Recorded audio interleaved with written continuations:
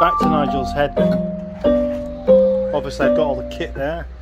I've just been cleaning up the surface on that and cleaning the surface on this as well which still got some marks on it but it's all very very smooth indeed now as you can probably see that's what elbow grease does for you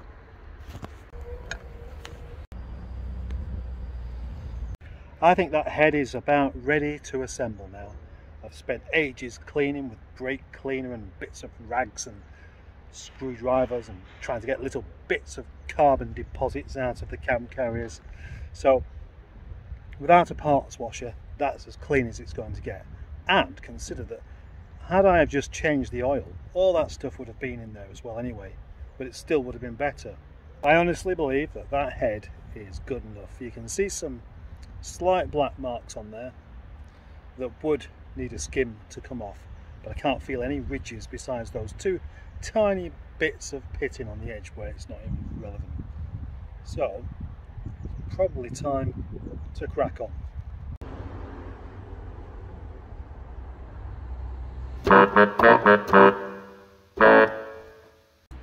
I'm really rather keen to get that cam carrier on the top of there now and get it stuck down crack on with the job. But um, the chap next door wants to come around and check I've done it all right. And uh, if I just put it all together, he'll probably be rather disappointed. You should have seen his face when I took the head off without telling him. Ages he's been saying to me, come on, let's get a head cracked off. I'll do a K-Series head. Yeah, he loves the old K-Series. And to be honest, I've met many a mechanic that say they really enjoy working on the K-Series. Good thing, eh? Just put the sealant on this. I'm about to stick it on there.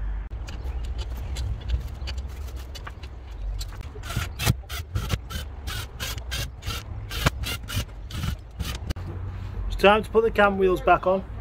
My next job is to take off just a little bit of metal off of this dowel because as I'm not using a multi-layer gasket I believe this could be a little bit too long. That's what I've been told.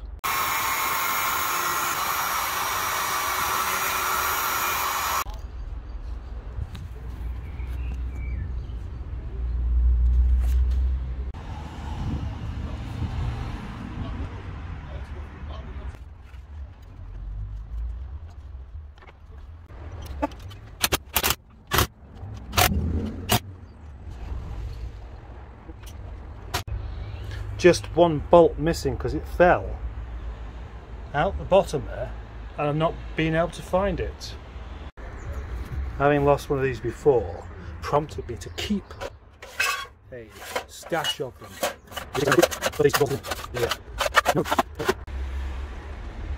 That's ready to go on.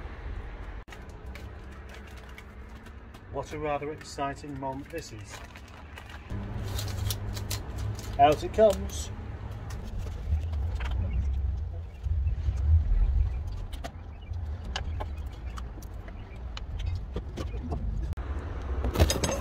High tensile bolts, head bolts, go through the middle there. Right, the bolts are placed in, but now I've got to move the cams around for ones like that and that to be able to sink down because part of the cam is in the way. A couple of years back I bought one of these Aldi Specials, a torque wrench. Now, I need these bolts to be done up to 20 newton meters but this doesn't go as low as that. It goes down to about 70. So it'd be guesswork if I was to use it. And guesswork isn't really the way to do it, is it? Torque, 60 to 210 newton meters. Uh, 60 is such a long way off 20 uh, for something that's supposed to be done exactly right. I don't think it's worthwhile taking any kind of chances there. So uh, that was going to be my last job of the day but now it's going to be the first job of tomorrow. It's probably time to go home anyway.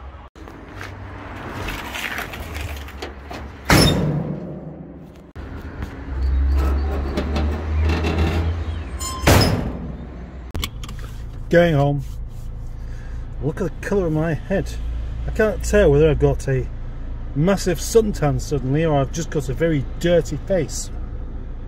There is every reason Nigel will be once again in working calm, you know, before this time tomorrow.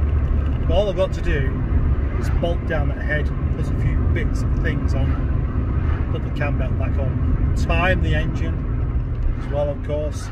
That's actually quite important. Otherwise, it'll destroy itself before it even starts. And then uh, oil change and the coolant. Yep. Oh, and one other thing as well, which is, um, yeah, on the high pressure fuel line, there's a little rubber grommet that got split, and I need to replace it because at the moment it just leaks fuel. That isn't a good idea.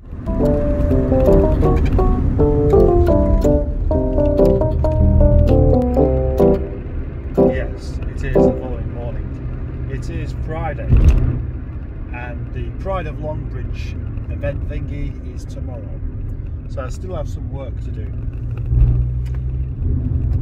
Ideally, once this is fixed, I would have preferred to have just driven it around locally for a week or so, just to make sure there are no hiccups, rather than just taking straight off on a 201 mile drive. Time to crack on.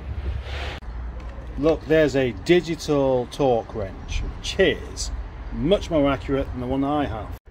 I really don't know how accurate you can be with a tool that starts at 60 newton meters when you need 20. Mm, probably not very at all, actually. So I've done them all up to 20 newton meters, and I've been advised to just wait 10 minutes and just recheck it because they can move a little bit. They want to be up to 20 newton meters and then 180 degrees twice. So um, obviously the degrees aren't about torque, they're just about another extra movement. So it's obviously important to get that part right. And then once the head is done up properly, I'm going to undo the bottom pulley. And I didn't do that the other day because I thought I could I'll have it set so I don't really need to do it but it turns out the, uh, the, the timing isn't quite what I was expecting. I've got to do that so I can have all of the pistons level set the time up from there otherwise I'm going to put it back together and something won't work and it won't be just my brain. I'm also grateful for some of the advice I've been given by some of my subscribers about uh, the method in which you put this back together. Unfortunately it's a bit too late because I'd already gone beyond that point before I'd read it. What should I do for the next 10 minutes? Should I ramble endlessly about my experiences with Rover and why I got into them in the first place? No, I've already done that. Should I tidy up the shed? No, because I'll get distracted and before I know it, it'll be dinner time. Should I wander around the yard looking for the mysterious yard cats? Where are you, yard cat? I can see a squirrel. Should I tell you about the time that I raced the police from the traffic lights and got pulled over? Nah, save that for when I start doing my driving yards. Well, it wasn't kidding there. certainly did slacken off ever so slightly in the middle there.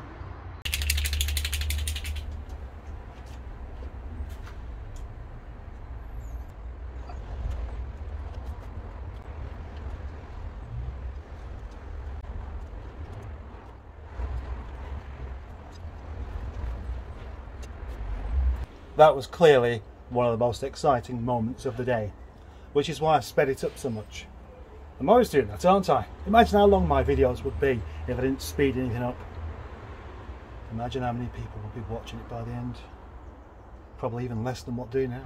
I shall repeat that process in five minutes. For the head, just leave the head to settle for a little bit and then another 180 degrees each in sequence this. But I'm going to put a little bit of oil onto the top of the cylinder head because there's no oil there. I'm just going to use a bit of cheap Tesco stuff but it's all going to get drained off soon anyway.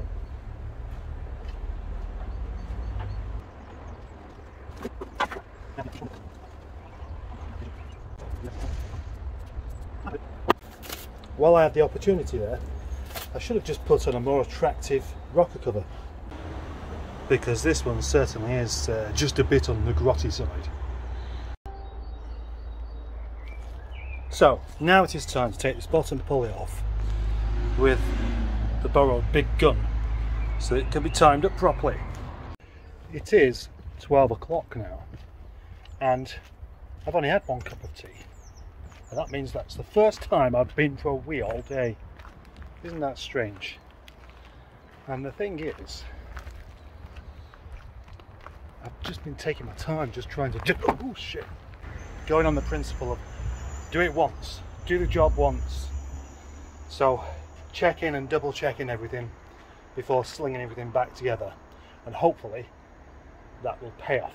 Okay, so the now the bottom end is timed up to top dead center.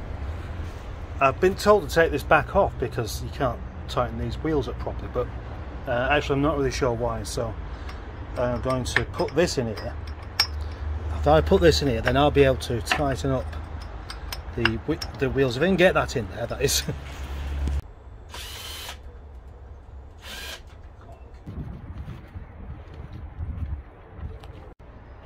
oh! Well, I've got the difficult part done. The, the belt, the cam belt is now on. All of that's done. I've just got all the bits to stick back together. And there I was just trying to get the alternator belt on. I thought it's too baggy this. Yeah, what's going on? Yeah, and then I realised there's no alternator on it, is it? It's, it's on the custard missile. So the custard missile is going to have to give it back. I want your alternator back. I want my alternator back now. Kev, come on. All the difficult parts are done. Easy parts now present me with a problem.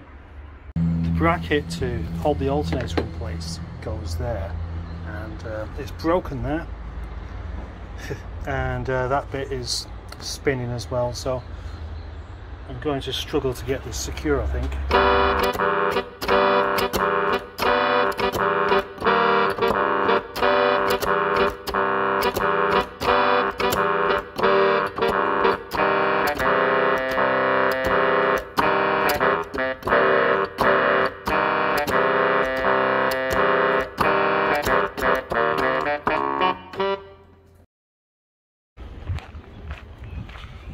Sorry to have to do this.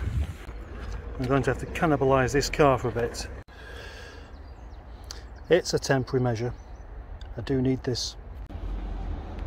Progress hasn't been that great really due to losing tools and uh, losing more tools and then putting an engine mount on slightly incorrectly which has taken me probably half an hour to then rectify that mistake, maybe even longer. But now, all I've got to do is put the wheel on, turn the key.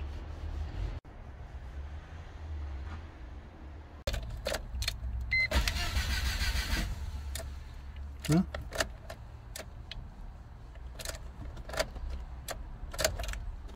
Well, it looks like my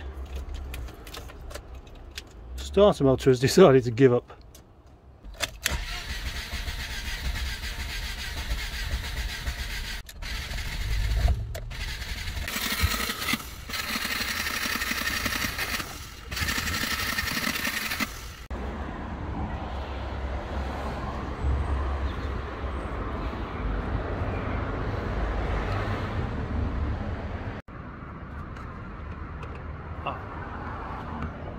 Well, the time is now half past six and it's not finished. Mainly because it wouldn't run. It wouldn't run at all, in fact. But there's a good reason for that. The timing was 180 degrees out, which is enough to make it not run at all. And it didn't. So, I'm going to put that back on, airbox, and not after I've put the uh, new coolant in. Probably going to have to leave the oil change for another day now.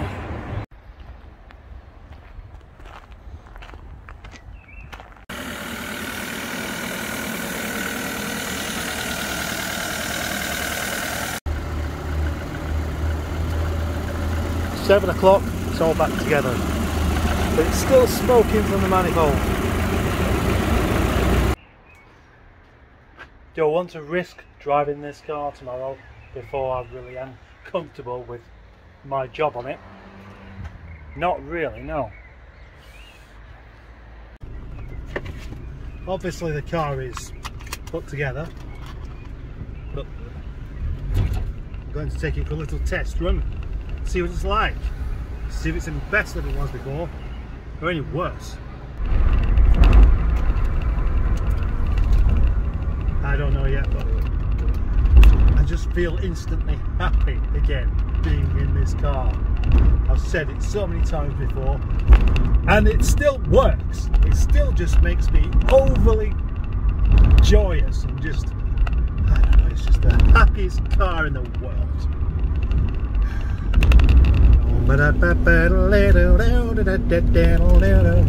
Well, there is a burning smell again coming off the manifold. That's quite um, clear. So I'm not sure what that's about. There's someone behind pointing at my car. That's the idea. It is possibly going a bit better than it did do before, but I can't tell. It might just be psychological psychology kind of affects us like that. It feels like it's a bit more responsive. Feels like it is. I'm a bit distracted by all the loose things going on in here though. That's kind of annoying me a bit now, if I'm honest. I don't want stuff. Oh, nice there. I thought I'd left the locking wheel nut on the wheel then, just for a second, but I didn't.